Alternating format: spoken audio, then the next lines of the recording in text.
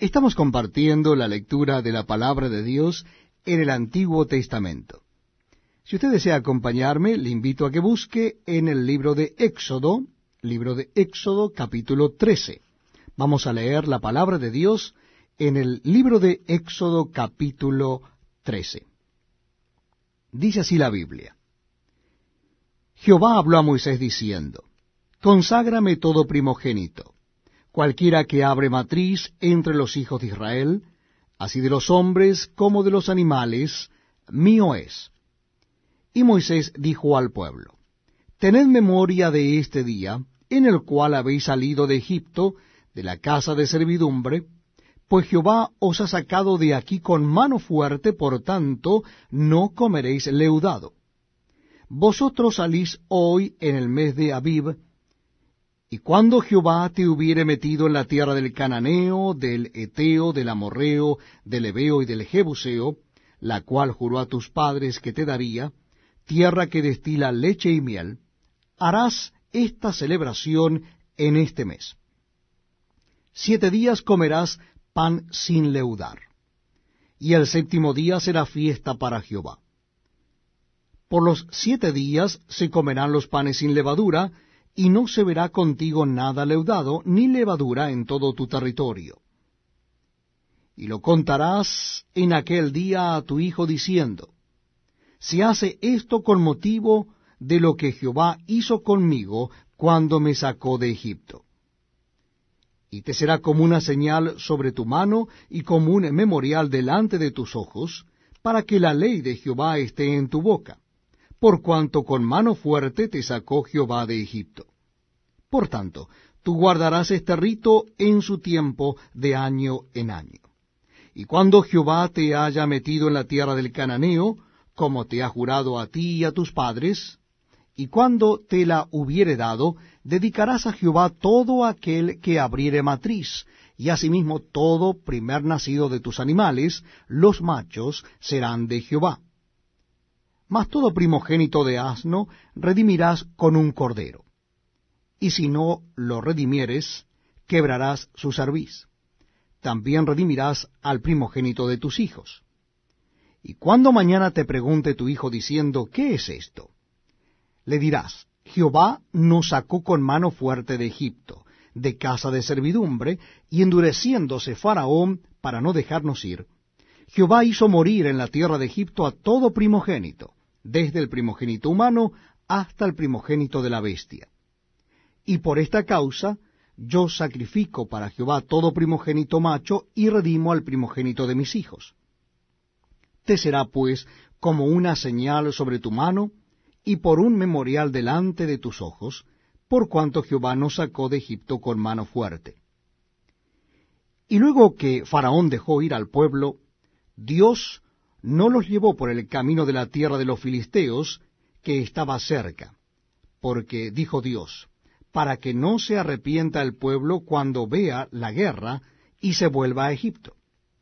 Mas hizo Dios que el pueblo rodease por el camino del desierto del Mar Rojo y subieron los hijos de Israel de Egipto armados. Tomó también consigo Moisés los huesos de José, el cual había juramentado a los hijos de Israel, diciendo, Dios ciertamente os visitará, y haréis subir mis huesos de aquí con vosotros. Y partieron de Sucot, y acamparon en Etam, a la entrada del desierto y Jehová iba delante de ellos de día en una columna de nube para guiarlos por el camino, y de noche en una columna de fuego para alumbrarles, a fin de que anduviesen de día y de noche. Nunca se apartó de delante del pueblo la columna de nube de día, ni de noche la columna de fuego. Bienvenidos amigos a este tiempo donde estamos compartiendo la lectura de la palabra de Dios. En esta oportunidad lo vamos a hacer en el Antiguo Testamento, libro de Éxodo capítulo 14. Estamos leyendo la palabra de Dios en el Antiguo Testamento. Libro de Éxodo capítulo 14. Dice así la palabra de Dios.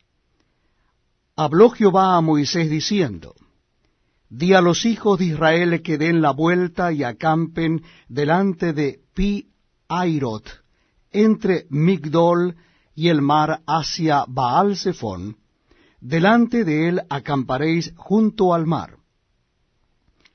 Porque Faraón dirá de los hijos de Israel, encerrados están en la tierra, el desierto los ha encerrado. Y yo endureceré el corazón de Faraón para que lo siga, y seré glorificado en Faraón y en todo su ejército. Y sabrán los egipcios que yo soy Jehová, y ellos lo hicieron así. Y fue dado aviso al rey de Egipto que el pueblo huía. Y el corazón de Faraón y de sus siervos se volvió contra el pueblo, y dijeron, ¿Cómo hemos hecho esto de haber dejado ir a Israel para que no nos sirva? Y unció su carro y tomó consigo su pueblo y tomó seiscientos carros escogidos y todos los carros de Egipto y los capitanes sobre ellos. Y endureció Jehová el corazón de Faraón rey de Egipto, y él siguió a los hijos de Israel, pero los hijos de Israel habían salido con mano poderosa. Siguiéndolos pues los egipcios con toda la caballería y carros de Faraón, su gente de a caballo y todo su ejército, los alcanzaron acampados junto al mar, al lado de Piairot, delante de Baal Zephón. Y cuando Faraón se hubo acercado, los hijos de Israel alzaron sus ojos, y aquí que los egipcios venían tras ellos, por lo que los hijos de Israel temieron en gran manera y clamaron a Jehová. Y dijeron a Moisés, ¿no había sepulcros en Egipto que nos has sacado para que muramos en el desierto? ¿Por qué has hecho así con nosotros, que nos has sacado de Egipto? ¿No es esto lo que te hablamos en Egipto diciendo, déjanos servir a los egipcios? Porque mejor nos fuera servir a los egipcios que morir nosotros en el desierto. Y Moisés dijo al pueblo, No temáis, estad firmes, y ved la salvación que Jehová hará hoy con vosotros, porque los egipcios que hoy habéis visto, nunca más para siempre los veréis. Jehová peleará por vosotros, y vosotros estaréis tranquilos. Entonces Jehová dijo a Moisés, ¿por qué clamas a mí? Di a los hijos de Israel que marchen. Y tú alza tu vara, y extiende tu mano sobre el mar, y divídelo, y entren los hijos de Israel por el medio del mar en seco. Y aquí yo endureceré el corazón de los egipcios para que lo sigan, y yo me glorificaré en Faraón y en todo su ejército, en sus carros y en su caballería y sabrán los egipcios que yo soy Jehová cuando me glorifique en Faraón, en sus carros y en su gente de a caballo. Y el ángel de Dios que iba delante del campamento de Israel se apartó e iba en pos de ellos, y asimismo la columna de nube que iba delante de ellos se apartó y se puso a sus espaldas, e iba entre el campamento de los egipcios y el campamento de Israel y era nube y tinieblas para aquellos, y alumbraba a Israel de noche. Y en toda aquella noche nunca se acercaron los unos a los otros. Y extendió Moisés su mano sobre el mar. E hizo Jehová que el mar se retirase por recio viento oriental toda aquella noche, y volvió el mar en seco, y las aguas quedaron divididas. Entonces los hijos de Israel entraron por el medio del mar en seco, teniendo las aguas como muro a su derecha y a su izquierda. Y siguiéndolos los egipcios entraron tras ellos hasta la mitad del mar toda la caballería de Faraón, sus carros y su gente de a caballo. Aconteció a la vigilia de la mañana que Jehová miró el campamento de los egipcios desde la columna de fuego y nube, y trastornó el campamento de los egipcios, y quitó las ruedas de sus carros y los trastornó gravemente. Entonces los egipcios dijeron, Huyamos de delante de Israel, porque Jehová pelea por ellos contra los egipcios. Y Jehová dijo a Moisés, extiende tu mano sobre el mar, para que las aguas vuelvan sobre los egipcios, sobre sus carros y sobre su caballería. Entonces Moisés extendió su mano sobre el mar, y cuando amanecía el mar se volvió en toda su fuerza, y los egipcios al huir se encontraban con el mar. Y Jehová derribó a los egipcios en medio del mar. Y volvieron las aguas y cubrieron los carros y la caballería y todo el ejército de Faraón que había entrado tras ellos en el mar, no quedó de ellos ni uno. Y los hijos de Israel fueron por en medio del mar en seco, teniendo las aguas por muro a su derecha y a su izquierda. Así salvó Jehová aquel día a Israel de mano de los egipcios. E Israel vio a los egipcios muertos a la orilla del mar. Y vio Israel aquel grande hecho que Jehová ejecutó contra los egipcios. Y el pueblo temió a Jehová, y creyeron a Jehová y a Moisés su siervo. Estamos compartiendo la lectura de la palabra de Dios en el Antiguo Testamento. En esta oportunidad será Éxodo capítulo 15. Libro de Éxodo capítulo 15, comenzando la lectura en el versículo primero. Repito la cita bíblica una vez más. Libro de Éxodo capítulo 15. Entonces cantó Moisés y los hijos de Israel este cántico a Jehová y dijeron, Cantaré yo a Jehová, porque se ha magnificado grandemente, ha echado en el mar al caballo y al jinete.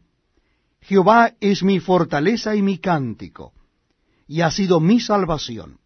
Este es mi Dios, y lo alabaré, Dios de mi Padre, y lo enalteceré. Jehová es varón de guerra, Jehová es su nombre. Echó en el mar los carros de Faraón y su ejército, y sus capitanes escogidos fueron hundidos en el mar rojo. Los abismos los cubrieron, descendieron a las profundidades como piedra. Tu diestra, oh Jehová, ha sido magnificada en poder. Tu diestra, oh Jehová, ha quebrantado al enemigo, y con la grandeza de tu poder has derribado a los que se levantaron contra ti. Enviaste tu ira, los consumió como a hojarasca. Al soplo de tu aliento se amontonaron las aguas, se juntaron las corrientes como en un montón. Los abismos se cuajaron en medio del mar. El enemigo dijo, perseguiré, apresaré, repartiré despojos. Mi alma se saciará de ellos. Sacaré mi espada, los destruirá mi mano. Soplaste con tu viento, los cubrió el mar. Se hundieron como plomo en las impetuosas aguas. ¿Quién como tú, oh Jehová, entre los dioses? ¿Quién como tú, magnífico en santidad, terrible en maravillosas hazañas, hacedor de prodigios? extendiste tu diestra, la tierra los tragó. Condujiste en tu misericordia a este pueblo que redimiste, lo llevaste con tu poder a tu santa morada. Lo oirán los pueblos y temblarán, se apoderará dolor de la tierra de los filisteos. Entonces los caudillos de Edom se turbarán. A los valientes de Moab les sobrecogerá temblor se acobardarán todos los moradores de Canaán.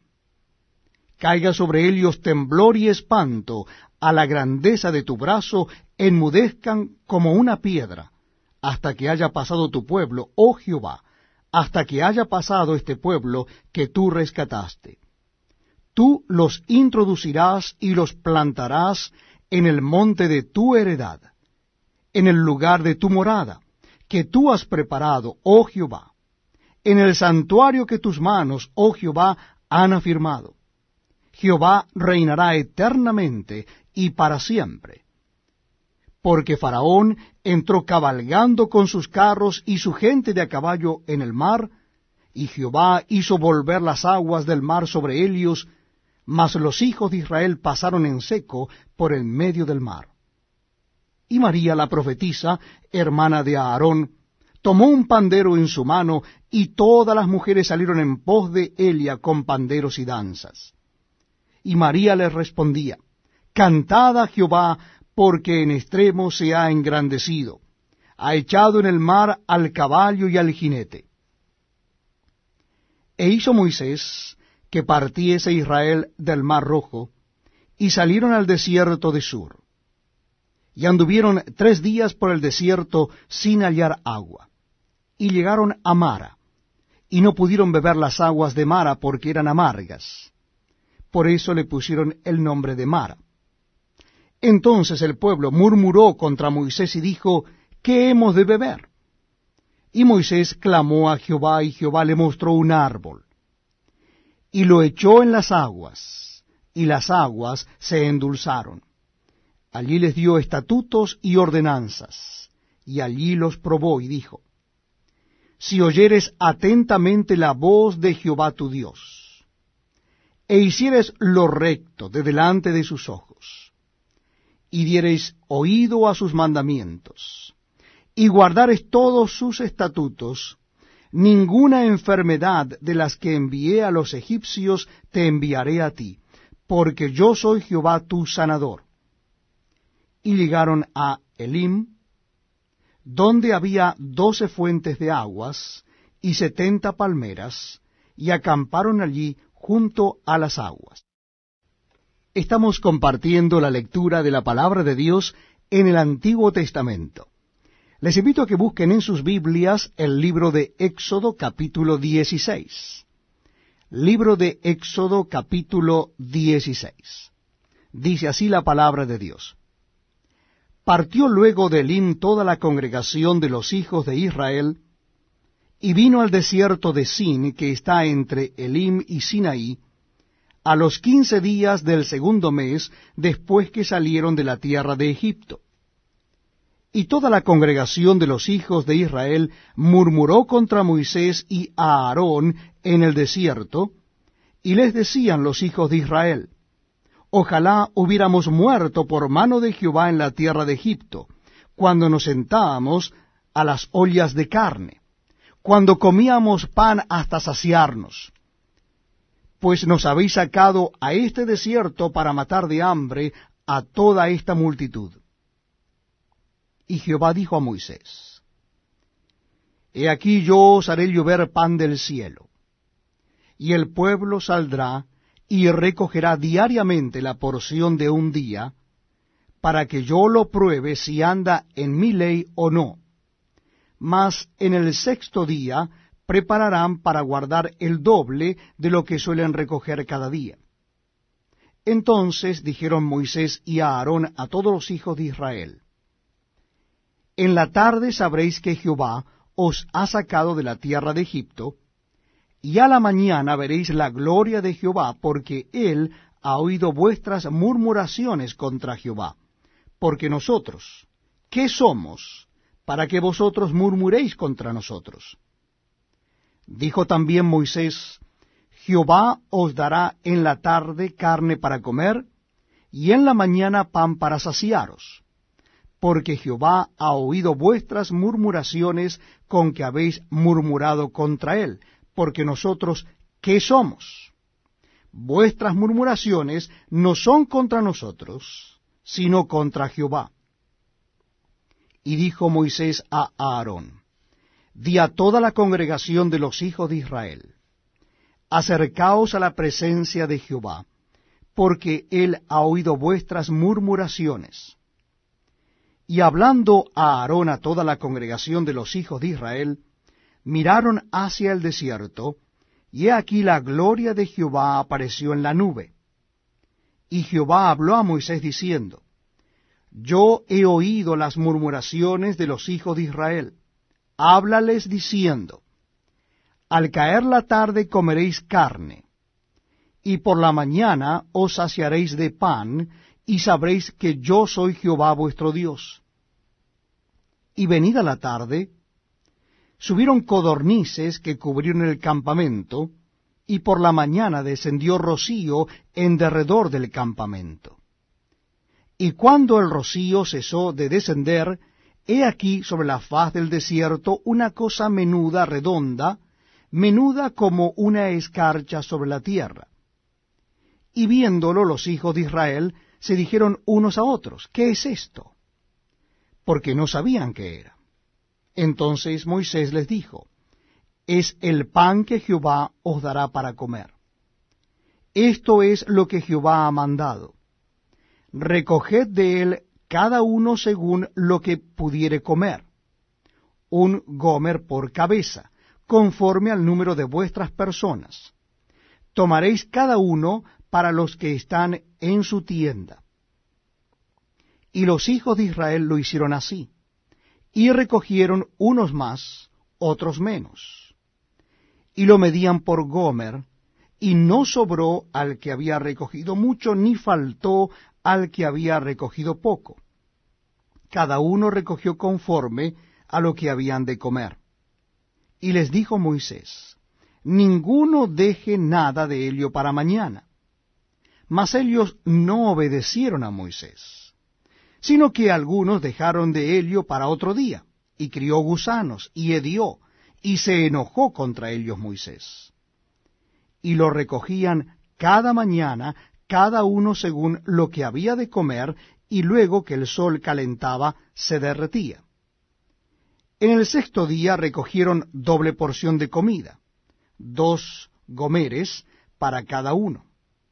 Y todos los príncipes de la congregación vinieron y se lo hicieron saber a Moisés.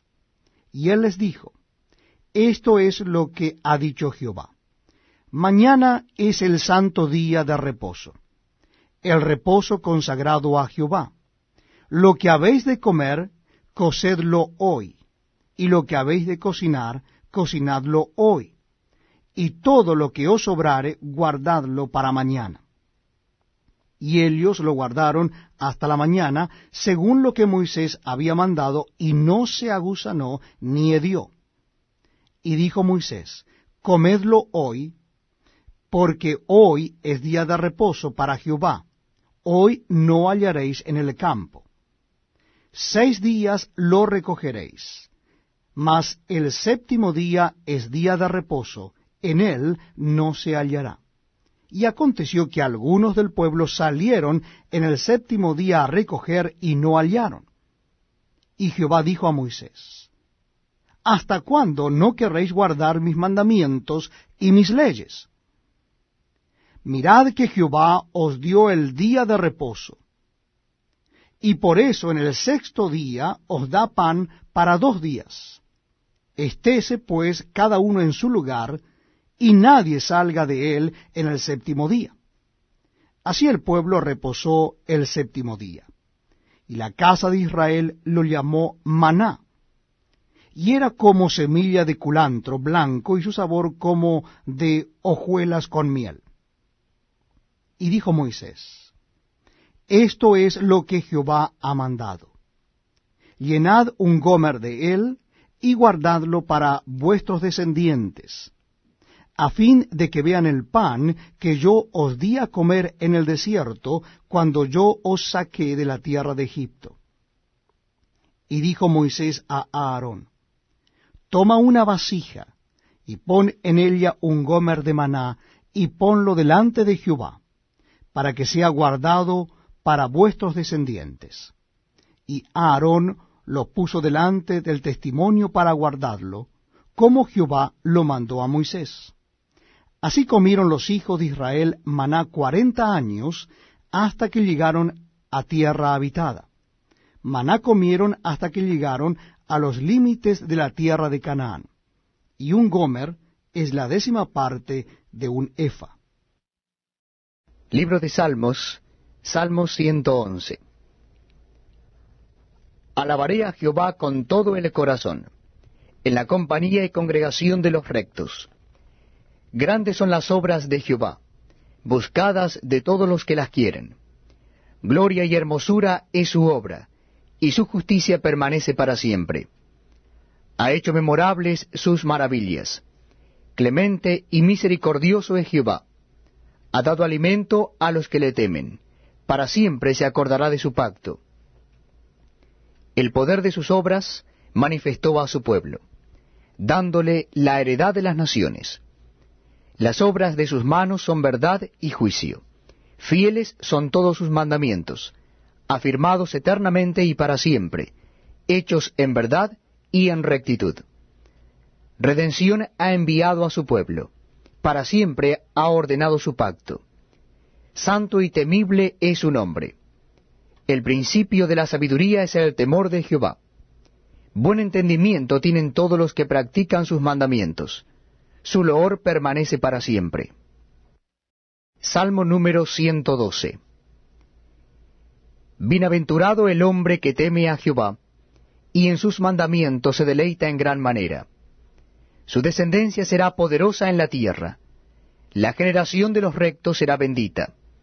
Bienes y riquezas hay en su casa, y su justicia permanece para siempre.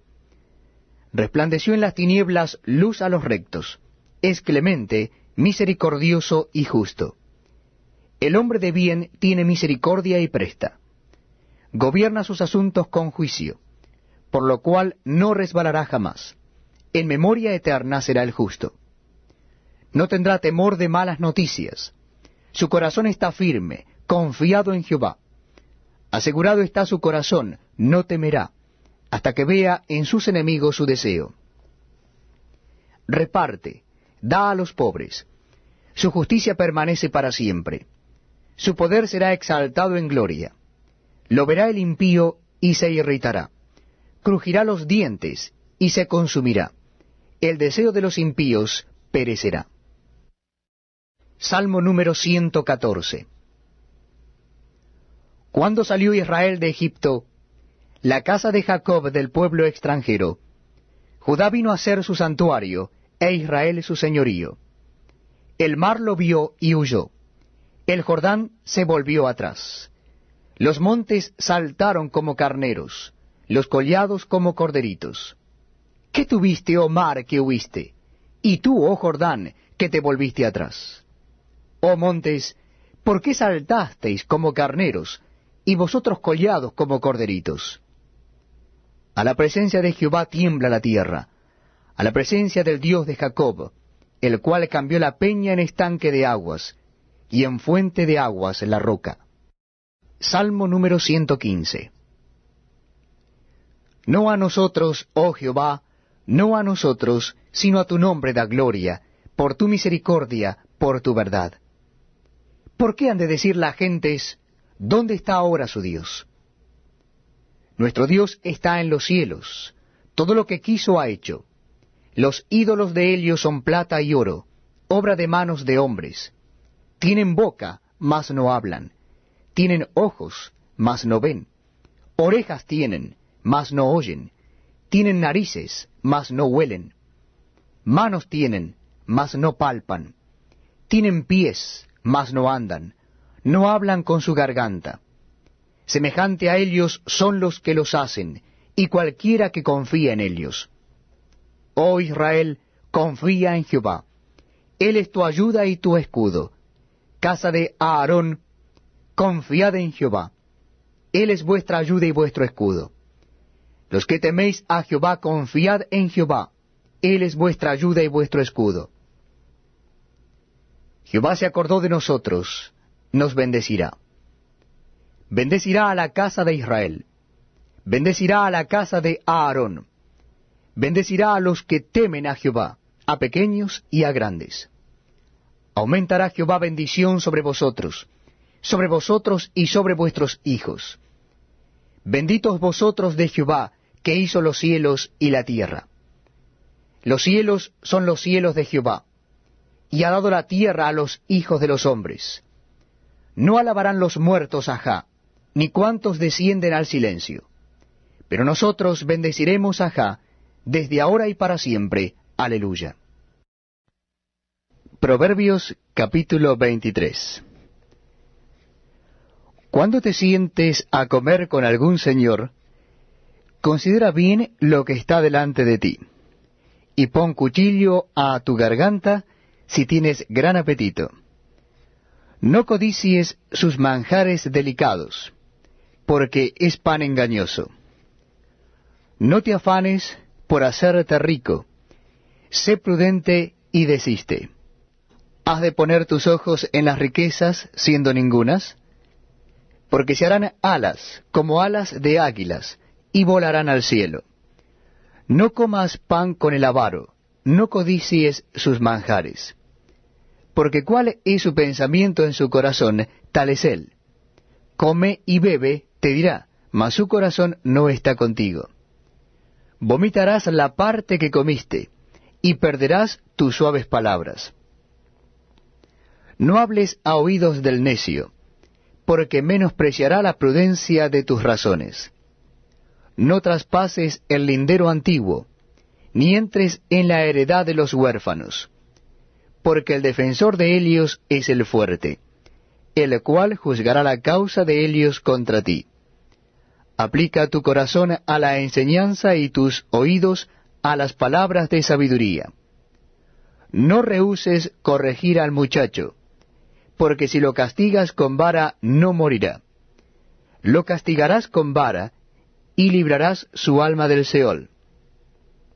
Hijo mío, si tu corazón fuere sabio, también a mí se me alegrará el corazón. Mis entrañas también se alegrarán cuando tus labios hablaren cosas rectas. No tenga tu corazón envidia de los pecadores. Antes persevera en el temor de Jehová todo el tiempo. Porque ciertamente hay fin, y tu esperanza no será cortada.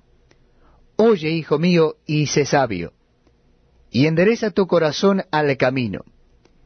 No estés con los bebedores de vino, ni con los comedores de carne, porque el bebedor y el comelón empobrecerán, y el sueño hará vestir vestidos rotos. Oye a tu padre, a aquel que te engendró. Y cuando tu madre envejeciere, no la menosprecies. Compra la verdad y no la vendas, la sabiduría, la enseñanza y la inteligencia. Mucho se alegrará el Padre del justo, y el que engendra sabio se gozará con él. Alégrense tu padre y tu madre, y gócese la que te dio a luz.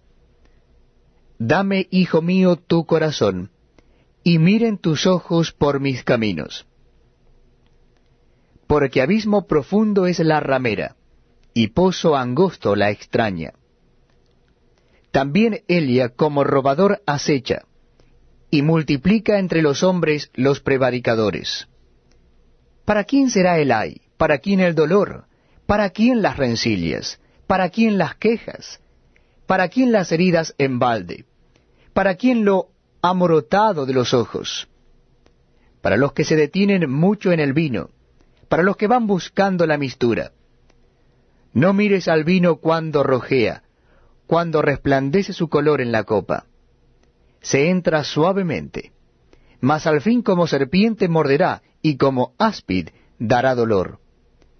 Tus ojos mirarán cosas extrañas, y tu corazón hablará perversidades. Serás como el que yace en medio del mar, o como el que está en la punta de un mastelero. Y dirás, me hirieron, mas no me dolió, me azotaron, mas no lo sentí. Cuando despertare, aún lo volverá a buscar.